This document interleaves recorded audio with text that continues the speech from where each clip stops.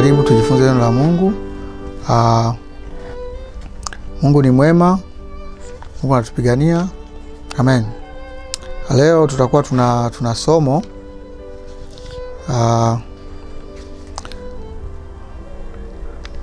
tuna somo ambalo tunakwenda kujifunza, tunaenda kujifunza neno la Mungu. Leo tutajifunza kuhusu kiburi. Amen. Kiburi mbele za Mungu, kutokutii mbele za Mungu. Wengi amewakuta, matatizo mengi amewakuta watu. Amen. Kutokutii sauti ya Mungu, kiburi. Amen. Unajua kitu kimoja, sawa? Biblia inasema mtu wa rohoni atambua mambo ya rohoni, lakini yeye atambuli na mtu. Amen. wakonito mbili pale anakueleza sawa, lakini sisi tunayo nia ya Kristo. Au ni nani mwenye nia ya Bwana amwelimishe? Lakini sisi tunayo nia nia ya Kristo. Amen. Kwa hiyo mtu kuanguka ni dakika sifuri, yaani haichukui muda. Kuna watu wanashuhudia walikuwa watumishi wa Mungu, waliitwa na Mungu, lakini walishaanguka, lakini wewe ujui, zinakuwa siri zao. Umeona? Lakini Mungu anapotufunulia huyu mtu waangalie, mtu anaanza kupinga, anaanza kubisha kwa sababu alisikia ule ushuhuda. Ushuhuda ule alishuhudia sawa sawa, na wewe kusikia utakusaidia, utakujenga. Lakini unapopewa update ya leo, huyu mtu ameanguka. Amen. Wewe unaelewa na si kubisha, basi ingia kwenye maombi. Amen.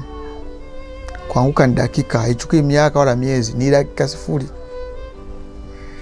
Shetani anafanya kazi usiku na mchana kupambana na watumishi walioitwa na Mungu, napambana nao kwa kila namna. Inafika mpaka mahali anaamua kukuletea pesa. Sasa mona ukipokea pesa umeisha. Zile pesa anazokupa si kwamba ni yeye shetani amekupa, nakwambia mali zote ni za Mungu. Kuna mali ya shetani hata moja, isipokuwa yeye shetani anajua vitu ambavyo Mungu ametuwekea sisi. Sisi hatujui vitu ambavyo Mungu ametuwekea. Sisi hatum, sisi hatumjui Mungu ila Mungu anatujua sisi. Kwa shetani anatujua vizuri kuliko sisi tunavyojijua. Kwa anapokuja, oh, nitumikie mimi, nitakupa uwe kanisa lako liwe kubwa, uwe na magari, uwe na watu wengi, nitumikie, nitakusaidia. Kumbe ni karama ambayo Mungu amekupa. Ukitii sauti ya Mungu kakaa mpaka muda muda husika ambao Mungu amekupangia, hawa tutakuwa nao. Nitakupa pesa, nitakupa magari. Haya magari utayapata. Hmm? Ungeyapata hayo magari ila tu ule vumilivu umekushinda, yaani vile viwango vimekushinda. Umeona, manabii wa zamani walipita kwenye viwango, ndio maana walikuwa wanaona ile miujiza wanaifanya, lakini sasa hivi hakuna. Sema Mungu alikuwa zamani, kwa sababu wameshindwa kupika kwenye vile viwango, Mungu aliamua. Amen. Nilikueleza zile hatua saba, hatua saba. Ukishafika hatua saba, ukimaliza hatua saba, kuna ile hatua ya saba unakutana na mitihani saba tena Ukipasua hapo, he, unakuwa sio mtu wa kawaida. Nilikuelezaga, na sisi tuko kwenye ile hatua ya tano kutoka kwenye zile hatua saba za mwanzo tumeshazimaliza. Tuko kwenye, kwenye, kwenye zile hatua saba katika hatua ya saba. Sasa tuko kwenye namba tano. Hmm? Unaona mabalaa, unaona kasheshe hilo eh? Amen. Kwa hiyo kutii sauti ya Mungu ni vyema zaidi, amen, kuliko kuwa na kiburi, amen. Tunamwona Sauli aliachana na Mungu.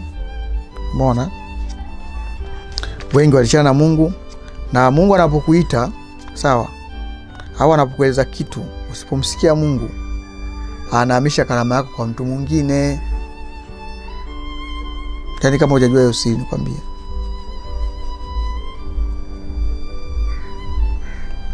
yani Mungu anapokuita akwambia usifanye hivi, usifanye hivi, usifanye hivi fanya hivi fanya hivi. Maanake anapokwambia Mungu usifanye hivi usifanye hivi, ana Mungu anakustaka wewe usije ukaingia kwenye nini, kwenye majaribu ambayo huyawezi. Sawa, umeona? Kwa sababu mshtaki Ibilisi kiasi kwa anashtaki. Sasa usiposikiliza utaingia kwenye mtego. Mungu atakusaidia, atakusaidia, atakusaidia, mshawishi. Mungu atafanya nini? Atakuacha. Sawa, mfano kwa hivi kwa sababu usikii. Mungu anakwambia hivi na hivi, usikii. Mungu anakwambia kuna hichi na hichi na hichi, jiepushe nacho, we usikii. Kikija kweli unakuwa umesahau au uelewi, unakuwa umesahau au uelewi. Sawa, unaambiwa usikii. Unajua kitachotokea ni nini? Mungu ataamua sasa, maanake huyo ni shetani anakuletea. Mungu anakwambia usifanye, usinani, kuna jaribu hili na hili, angalia usije kakupata wewe, usikii. Sawa, sasa Mungu mwenyewe sasa anakuletea mwenyewe sasa, ili kukuaibisha kwa sababu usikii. Yaani Mungu sasa anaamua kufanya maamuzi kukuaibisha kwa sababu wewe usikii. Na kuaibika, ukiaibika utapata nini? Hakuna utakachokipata, ila Mungu anaamua kukushikisha adabu. Yule uliokuwa unamwamini, yule ndugu yako, yule rafiki yako, anakugeuka ghafla bila kutarajia. Ndugu yako unakuta ghafla amekujibu majibu ambayo sio yenyewe. Unakuta rafiki amekugeuka ghafla, yani ukutegemea. Maana yake ndio huyo mtu alikuwa anatumika na shetani sawa, kupambana na wewe au kukupinga sawa, lakini mwisho wa siku wewe Mungu atamtumia sasa. Umeona? Na Mungu akimtumia ndio atapata nguvu kwako, kwa sababu wakati shetani anamtumia Mungu alikuwa anakuepusha namna ya kumkwepa na jinsi ya kukwepa, jinsi ya kufanya hivi. Lakini usiposikia sauti ya Mungu, Mungu sasa ataamua kufanya nini? Kumpa nguvu ya adui yako ili afanya nini? Kwa sababu umekuwa usikii sauti ya Mungu. Kiburi. Umeelewa? Tunamwona Daudi hmm? Alipofanya makosa Mungu akatoa adhabu. Naona wana wa Israeli waliposahau sanduku la agano lilipochukuliwa, hawajishughulishi kulifata, wanataka waende vitani. Mungu akawa anawapiga mpaka kizipowarudia zipowarudia kwamba tufate sanduku. Wakaenda kwa siri kwenda kuiba sanduku, wakashinda. Umemwona Sulemani alioa wake wengi, na Mungu alishaonya kabisa, hawa watu wa mataifa msioe. Sawa, lakini Musa alioa. Musa maanake Mungu alimruhusu Musa, sio wewe. Ushaambiwa usioe, tulia. Lakini Sulemani alioa. Mwishoni kile ambacho Mungu alitoa alikuwa akitaki, ndio kikaja kutokea mwishoni. Wakaanza kumgeuza moyo, ile mali zote ambazo Mungu amembariki akaanza kujenga miungu. Mungu akamwonya mara ya kwanza, akamwonya akamwonya mara ya pili, akamwonya mara ya tatu, akagoma. Kilichotokea nini kwa Sulemani? Mungu aliinua adui za baba zake Sulemani, adui ambao Daudi alipambana nao na kuwashinda wakawa chini yake. Mungu aliwainua wakampiga Sulemani, alipigwa vibaya vibaya, alichakaa. Ni Mungu ameinua, na akiwainua adui zako watakushinda. Amen. Mona umemwona Sauli hmm? Amen. Kwa hiyo hizo ndio siri za Mungu. Amen. Mungu anapokuambia jambo, sikia kile Mungu anachokwambia. Hata kama una karama, Mungu anahamisha karama yako, anapeleka kwa mtu mwingine ambaye hata hajaokoka, hata mjui Mungu leo, mpagani.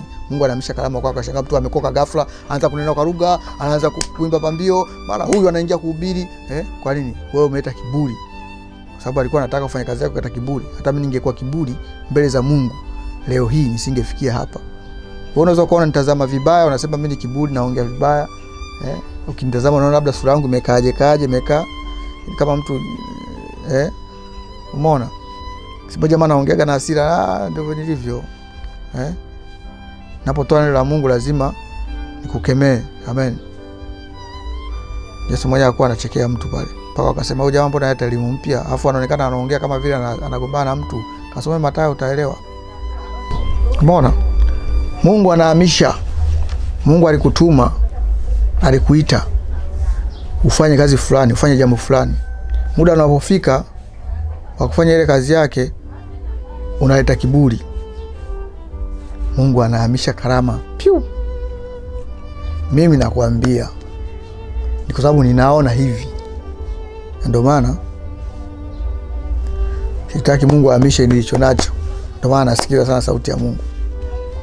Ndio maana Mungu anasema na mimi sana, kwa sababu nasikiliza natii. Amen. Watu wanaamini, yani Mungu anahamisha kabisa hivi live. Unaona kabisa huyu keshahamishiwa anaenda kuanguka huyu huyu anaenda kufa unaona kabisa eh? kwani kwa sababu viburi kutokutii sauti ya mungu tani mungu anahamisha kabla akiamisha kalama yako unakuwa mtoto wa kawaida tu eh, kwa sababu ulikuwa unakuwa unaombaomba tu e, ile karama kwa sababu ilikuwepo kwa muda unafuzi kwenda kwa sababu ilishama ile kalama iliyobaki nayo ile useme ule upepo ukishauisha basi ndio utajua kwamba sina mungu. Na ukishakuwa una mungu utajitumainia kwa sababu zamani unajua ulikuwa na mungu utajitumainia kwamba kwani nikifanya dhambi si nitatubu bwana? Eh, tayari hapo ushapotea usha, usha hivyo. Unaanza kujitumainia dhambi. Wakati takiwa hata usisogelee wala kuigusa hivi unajitumainia nitatubu bwana kwani nikivaa niki suruali e, si nitatubu bwana?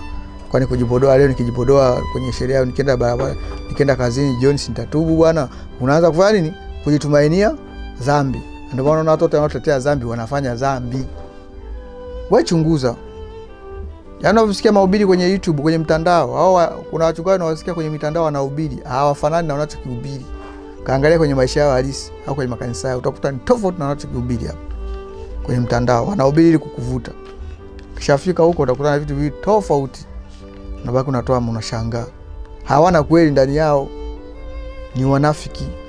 Ndio maana wako tofauti na wanachokihubiri na ukimwangalia anachokihubiri na kwenye walisi wake ni tofauti. Mona hawa watu walishaanguka viburi. Amen. Bwana yesu asifiwe. Kwa hiyo naomba uelewe hiyo elimu fupi tu ambayo nimekupa. Hmm? kwa watumishi wengi wameanguka kwa sababu ya viburi. Unamwona leo anahubiri vizuri na mungu kesho ashaanguka ukiambiwa bwana mtu fulani ameanguka anasema amna amna amna unajua rohoni? Mtu wa rohoni utambua mambo ya rohoni lakini atambuliwi na mtu. Ni nani mwenye nia ya bwana amwelimishe? Si tunao nia ya kristo. Amen. Mungu akubariki sana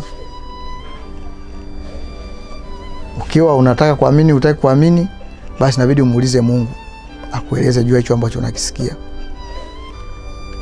Kama ni kweli ameanguka ni kweli iko hivi mungu atakujibu. Sio nenda kuuliza watu. Mungu ashakupa ujumbe nenda kuuliza tena watu. Maana yake hujamwamini mungu na ndio maana mungu sasa anatuma uongo kwako. Kwa sababu mungu amezungumza. Alafu utaki kumwamini huyo mungu aliyezungumza. Aliyesema akatuma ujumbe unasikiliza watu kwa hiyo ukisikiliza watu maanake unaamini watakachokuambia watu ndo utaamini. Kwa maana unasikiliza ni bongo yako. Kama unasikiliza bongo yako sasa pale ndo mungu anatuma uongo. Kwa yule unamsikiliza ili uamini kile unakokutaka wewe. Alafu baadaye ukiona mambo aendi sawa oh, kanisa langu bwana watu. Oh, kwa nini imekuwa hivi? Mungu atakwambia hukunisikiliza. Na Mungu anakuacha tu anaweza akakuonya usielewe. Mona mungu ndivyo alivyo. Kwa hiyo mungu sio wa mchezo mchezo. Mungu hataki mchezo. Hani hataki mchezo kabisa. Yaani umeshaitwa na mungu umekaa kwenye nafasi alafu naitaleta mchezo. We. Yaani anahamisha karama yako. Ila ule upepo ule wa karama kwa sababu ulikuwa nao ndio unajidanganya lakini ndani unavyoenda mbele unazidi kushuka kunye, kuisha kuisha mwisho wa siku ndo utajua kwamba mungu hauna. Amen. Kwa hiyo utakuwa unajitumainia tu. Mm, sawa sawa sawa unaomba unasali faa hivi. Kumbe mungu hayupo tena hapo.